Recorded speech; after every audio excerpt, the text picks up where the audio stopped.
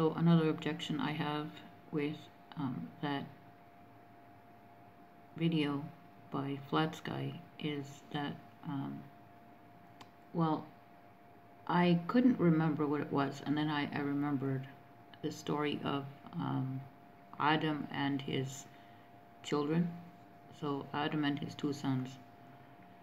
Um, at one point in the story, Abil and Qabil, the two sons, are told to sacrifice an animal, to offer an, uh, an offering.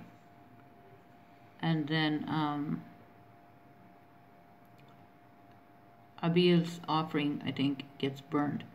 So Allah sends a fire from, from himself to, you know, Allah causes a fire to burn the offering of Abil, but not the offering of Kabil or Qabil, meaning that um, Allah accepted Abil's offering, but did not accept Qabil's offering. And um,